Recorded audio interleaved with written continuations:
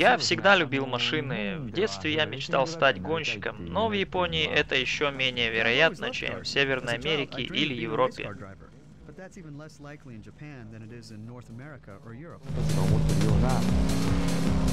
Я создал Гран Туризмо, потому что всегда хотел работать с машинами. Я не ожидал, что игра продастся так хорошо, как она в итоге продалась. У игры правдивые ощущения от вождения, и графика близка к реальности. Такого раньше не было в жанре автогонок.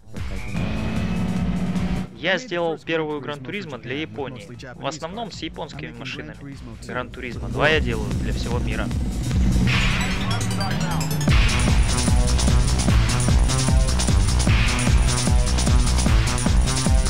Нас будет около 400 машин и 20 трасс. Мы доставили сюда несколько машин, чтобы протестировать их, пофотографировать и записать звук.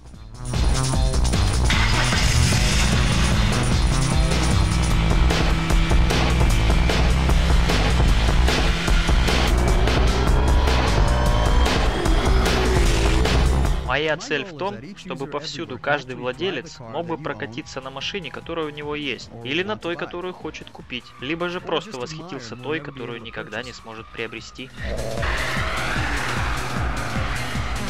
Я хочу, чтобы владелец машины почувствовал, что водить машину в игре точно так же, как и на обычной дороге.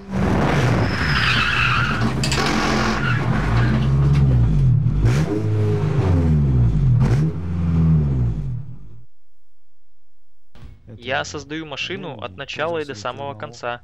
Сегодня я делал фотографии со всех ракурсов, чтобы запечатлеть различные детали, покрышки, фары, стоп-сигналы, так что я смогу в точности перенести эти машины.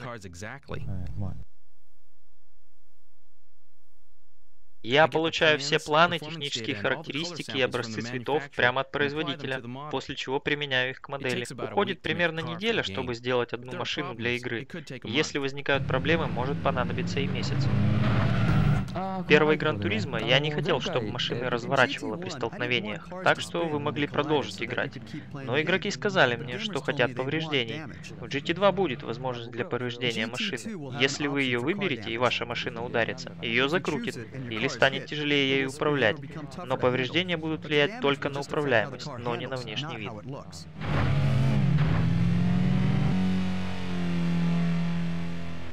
Одно очень важное изменение, которое мы собираемся сделать, это добавить гравийные трассы. Машины смогут буквально скользить по ним. Также будет несколько дрэговых прямых. Одной из доступных реальных трасс станет Лагуна Сека.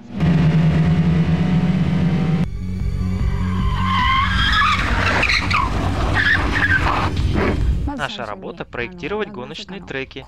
Мы прорисовываем траекторию трека, моделируем ее, а затем накладываем текстуры и рисунок ландшафта.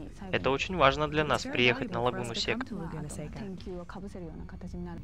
По фотографиям мы знаем, какой наклон у здешних поворотов, но теперь мы можем пройтись и проехать по ним, так что теперь сможем в точности перенести их в игру.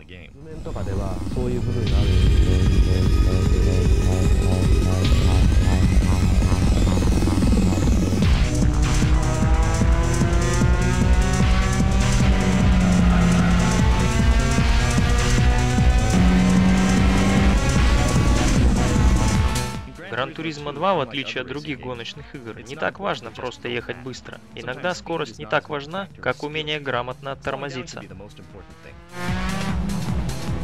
У меня есть школа вождения, и Маучи-сан был одним из моих учеников.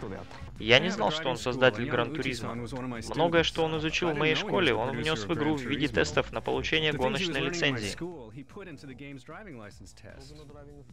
Как правильно разгоняться, как тормозить и как проходить поворот.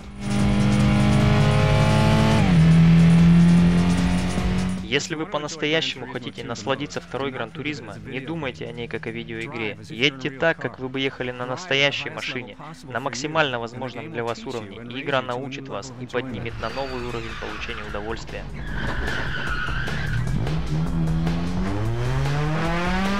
На лагуне Сека есть самый знаменитый поворот, называющийся Штопор.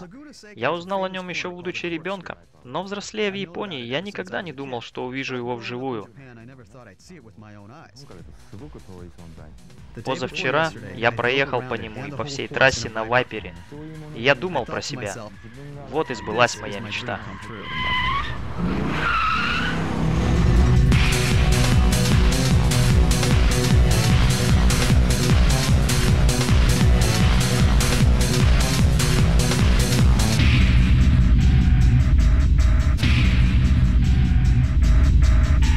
Великий Турист 2 скоро придет.